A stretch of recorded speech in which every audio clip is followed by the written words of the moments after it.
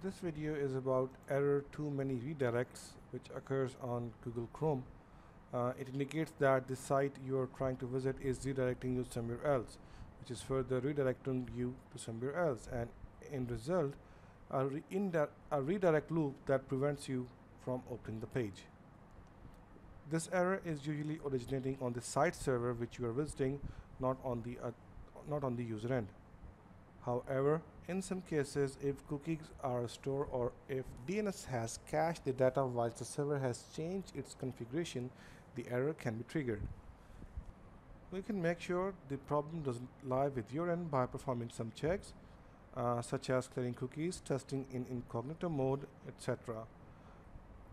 If after performing these checks, the website still doesn't load up, it means the error isn't on your side, it lies with the server side and there is nothing wrong with your computer.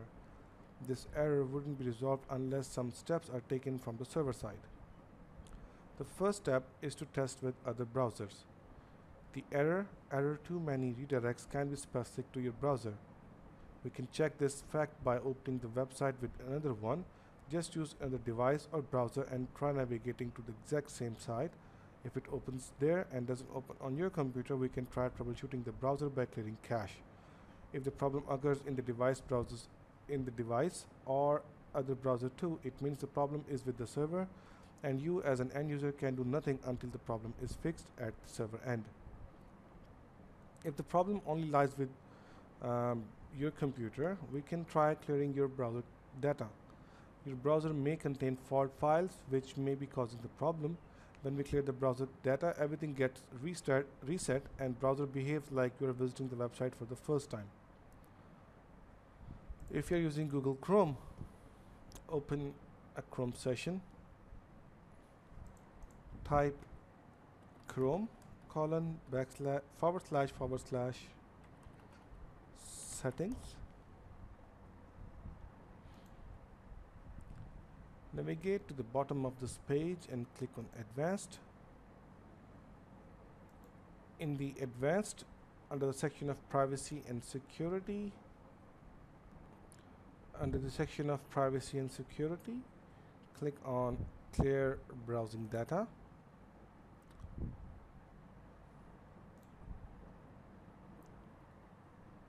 From here click all time choose everything um, in the options and then clear the data. Now restart your browser by just close this browser go to task manager and kill all the processes related to your browser and then restart it. Now check if the website is accessible again. The another thing that we can check is the extensions if clearing the browsing data doesn't work for you we can check if browser extensions are making a problem you should always disable those extensions which you think can be causing a problem we still recommend that you disable all the extensions from the browser before moving on to the next step to determine whether the problem lies in your browser or the server. To check your browser extension on Chrome, open a Chrome session. In the address bar, type Chrome colon forward slash forward slash extensions and hit enter. Now check all the extensions and just toggle it to disable all the extension. We recommend to disable all extension and check if the problem still persists. The next thing we can check is to make sure the date and time settings are fine. Press Windows and S key. Type settings. Open the settings. Click on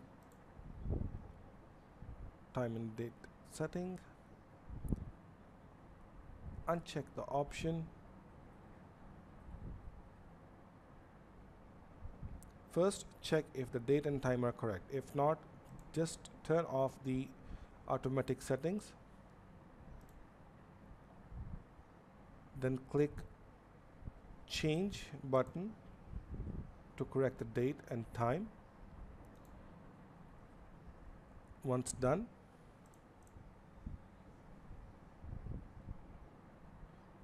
check if the problem still persists.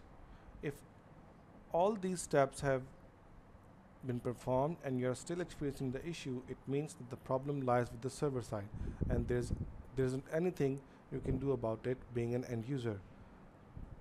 If your browser was still unable to open the website even after all the methods explained, there is nothing you can do. However, if you think that the problem lies only with your computer and everyone else is able to access the address, you should contact support to diagnose what the problem might be. I hope this video will be helpful for you. Thanks for watching and don't forget to subscribe our channel.